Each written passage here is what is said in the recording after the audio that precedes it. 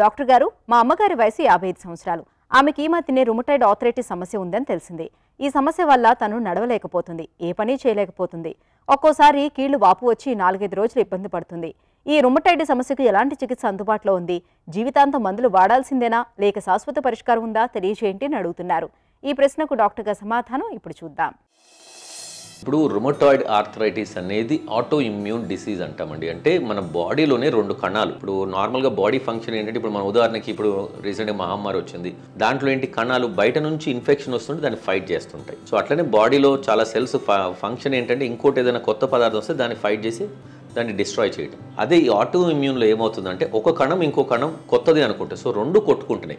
ఆ రెండు బాడీలోని సో అందుకే దాన్ని ఆటో ఇమ్యూన్ అంటే మన బాడీలో అది ఫైట్ చేసుకుంటున్నాయి. మనం వాడే మందులు ఏం చేస్తామంటే ఒక పరదాలాగా పెడుతున్నాం రెండింటి మధ్యలో. సో ఆ రెండు కణాలు కొట్టుకోకుండా. పెట్టిన రోజులు బాగానే ఉంటాయి. మీరు పరదా తీసిన రోజు మళ్ళీ కొట్టుకుంటాయి. ఈ కొట్టుకోవడం వల్ల ఏమవుతుంది? ఆ బాడీలో అన్ని డిఫరెంట్ డిఫరెంట్ ఆర్గన్స్ డిస్ట్రాయ్ అవుతాయి. ఫస్ట్ జాయింట్స్ ఆ జాయింట్స్ చుట్టూ ఉన్న కండరాలు దాని తర్వాత ఇంకా డిఫరెంట్ ఏరియాస్ అన్ని ప్రాబ్లం వస్తుంటాయి. సో ఇప్పుడు సంతోషం ఏంటంటే అమ్మకి యాభైకి వచ్చిన తర్వాత కనిపెట్టారు. కొంతమందికి ఏంటంటే పంతొమ్మిదేళ్ళకే వస్తుంటాయి రుమటాయిడ్ ఆర్థరైటిస్ అనేది. సో ఒకసారి అది పాజిటివ్ వస్తే లైఫ్ లాంగ్ మందులు వాడాల్సిందే. ఇది గుర్తు పెట్టుకోండి ఎందుకు అంటే చాలా మంది ఒక సంవత్సరం వాడతారు చాలా బాగుంటుంది వదిలేస్తారు. ఈ వదిలేయటం వల్ల ఏమవుతుంది? మళ్ళీ ఈ కణాలన్నీ డిస్ట్రాయ్ చేసి జాయింట్స్ ఒక్కొక్కటి అరిగిపోవడం మొదలెడుతుంది. అందరూ ఈ వెయిట్ వెయిట్ మీద కాన్సన్ట్రేట్ చేస్తారని సొంత హెల్త్ వచ్చేసరికి అశ్రద్ధ.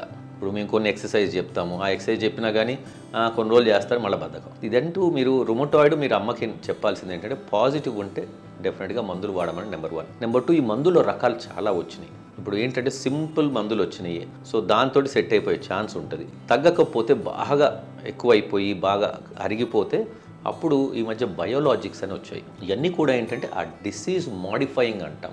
ఈ పెయిన్ కిల్లర్స్ కాదు.